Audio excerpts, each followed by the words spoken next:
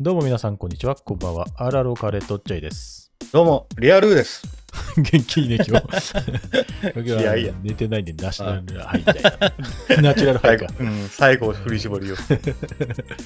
さあ、えーっと、スイッチの週間売上ランキングいきましょうかね。あんま変わってないと思うけどね、スイッチはね。行こでは、いきます。はい第10位。う。うん。フィットボクシング2リズムエクササイズ。ほうほう。2020年12月3日、3日のこれ3日発売。これ入っとった？何が？前回。入っとったと思う、多分これ。あ、そちょっと落ちたんじゃないかな。う。あ、そうね。うんこれ2年前だったんだね、2って知らなかったわ。うん。これ1買ったんですよ。あ、そうや、言う話したな、これ。ワンワン買ったうんワンの買ったんですよね。うん。うんやった？死ぬほどきついです。まあ、そりゃそうやろうな。バリバリきついです、マジで。コントローラーも買った？買いました。あの、あのなんなんてのメリみたいなベアナッ。クルみたいなやつ。あれ買ったよ。おもろかったみたいじゃん、これ。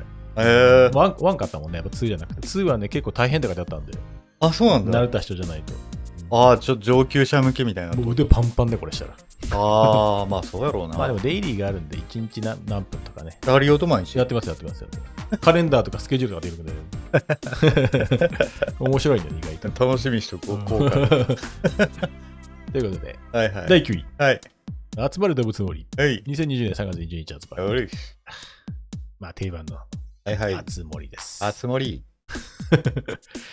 続きまして、はいはい。第うん8位、ポケモンレジェンズアルセウス。はい2020年1月28日発売。おあちゅう。誰が買い読んだろうね、これね。いつまでも。同じ人が買うじゃない？いやいや、何個も。何個も買いようかな。はいなんとか用みたいな。保存用とか。でもこれはさ、2個ないからね、今今までのポケモンと違って。あ、そっか。うん。すごいよね。ああそうなの。この2種類出たらどうなるんだろうね、売り上げってね。それ面白いよね。あー、どっちがやっぱ売れるとかあるんあやなるんやろうね、多分ね。年末楽しみだな、そこら辺は。えーと、続いてが、これ何 ?8 位か。第うん。7位、うん。大乱闘スマッシュブラザーズスペシャル。スマブラ。2018年12月7日発売。うん。これ最近なんか何かのキャラクター追加とか聞かないね、なんか。ああ、そうだね。なんかよく定期的にあるけどね。うん、何種類、めちゃくちゃ種類いるもんな、これ。何が来るんやろうね、次。いあーハイアーエムレム、ハイアーエムレム来たもんな、前。風化雪月やのやつ。、多分他社やない最近他社やりよらんな。ああ、確か結構やってるね。ウィんゲラルドいなかったっけ、これ。違かったかな？いたい、あ、いたっけ？いいたよね、確かや、に。ゲラルドが、あれやん。ソウルキャリバーソウルキャリバーあれ、これペルソナスマッシュブラザーズなのあ、ペルソナか。うん。他社来るとしたらモンハン？モンハン？モンハン？でも人おらんもんな。人オリジナルやもんなあのね、あの、管理人じゃなくて、受付嬢。あの子が？うん、あの子が。来ないと思うな。来るな。しリオワールドの子がね。リオレーサー来るじゃない、リオレーサー。あ、双子の子が来るんじゃないか、そしたらね。あの、あモンハン、な、なんか忘れたけど、スイッチの方ね、ライズか。ー、ライブね。はいはいはいはい。えーと、これ何位なんだっけ？6位ぐらい。?9、9、8、7位ですね。7位えー続きましてが、はい。第6位。うん。ついに落ちてきましたね。うん。e ベースボールパワフルプロ野球2022。あらら。4月21日発売です。まあまあまあ。6位まで落ちてきましたね。まあ、一月ぐらい経つけんね。そうだね。踏ん張りきれないか、これ。来週ぐらいあや危なかったけどな。ねけどアップデートも来たのにね。うん。あ、もうもう一回途中アップデートあるんでしょ、これ。あるよ、確か。うんその時にまた盛り返すかね。登ってきそうな。うん。それまで待ってす待ってる人いそうじゃないなんか。ああうねん。新人と新外国人が最初使い物ならのステータスじゃないですか。確かにねこのゲームこのゲーム大体そうやね。ルーキーやべえけんね。うんお D、オール E とかさ、外人とか、ね E にパーが C って殺到だけど、パワーだけあろうが。もうそんな扱いだから、うんそれまで待ってる人もいるかもしれないね。ねうんまあ、期待しましょう、後半。はい。第5位、うん。マインクラフト。うなんん。か登り詰めできるよ、これ。うん、そうね。ずっと、まあ、ここ、ずっとここやない。こいつは変わってないけど、周りが、周りが動きようみたいな。そうそうそう。そうか、マインクラフトいいね。これ安いでしょ？いくらだったっけな？安いよ。?3000 円とかぐらい？こんなすると？わかんねあ、3000円するね。え。高いな3000円ぐらいだ。うん、3300円。あ、そんなもんなんだ。3300円価値はあるでしょまあまあまあまあまあまあ。なさそうやな。面白いけど、3000円も出すまでもないってこと？いやまあ3000以下でやれるやれるの？環境によってはね。ああ。PS とかも同じぐらいなんじゃないの？これ。PS は同じぐらいやな。PC はいくらなんだろうな。まあ、いあの、Xbox ゲームパス入っとけば。ああ、そういうことか。まあ、Xbox ゲームパスやってる人少なかろうからね。まあ、けど、あっち PC 版買うのっていくらぐらいなんやろうね。PC でマインクラフトを買うっていうのがなんかそうね。よくわからんですね。まあいいや、第5位。はい。第4位、はいはい。マリオカート8デラックス。うん2017年4月28日発売。うん。マリカマリカ落ちてきましたね。少しずつだけど。まあ、この辺は常連組なんで相変わらずの。そうだね。うんそして、ベスト3入ります。第3位、はいはいうん。星のカービィディスカバリー。アービー。うん。なんか落ちると思いきやまだ頑張ってますね。カービィ。そうだね。根強い、結構根強い、意外と根強いね。てか前、前作のやつ見たら結構売れてたわ。星のそう？ん星のカービィもやっぱマリオぐらいの力を持ってるんだね。マリオ？まあマジで？うんマリオぐらいの力を持ってるっぽいですね、どうも。えーうん、ずっと多分いるっすよ、こいつ、ここに。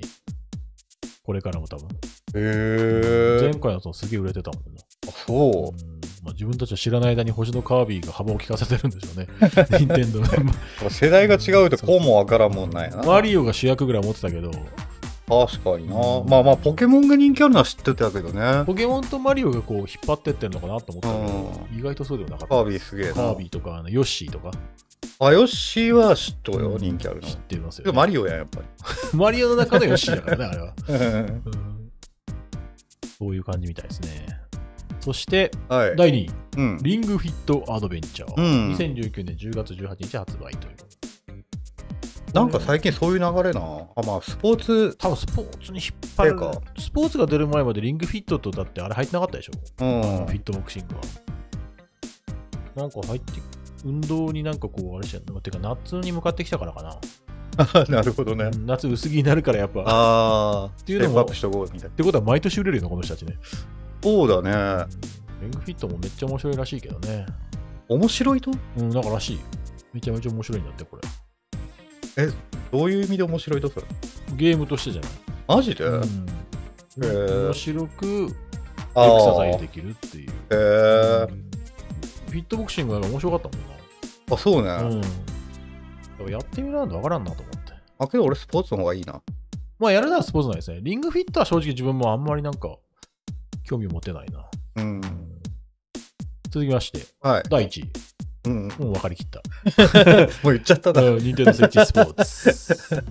これはね、うん。これは分かるっす。面白いと思う。うん、これは面白いと思う。これはでもこう、でもあれでしょうね、こうエクササイズ向きに出してるわけじゃないっていう。まあまあまあうんまあ。ただ、ゲームとして出してますからね、これはね。そっかそっか。そっちに特化はしてない。確かにね。うん。まあ、一応動かす系だけど、うん。そこまでジャン。ルは変わってくるんじゃないですかね、多分ね。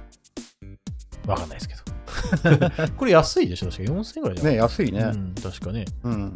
あのコントローラー、足つけるやつとか買ったら高いのかもしれないけど。まあそうだしょ。そうだしょうね。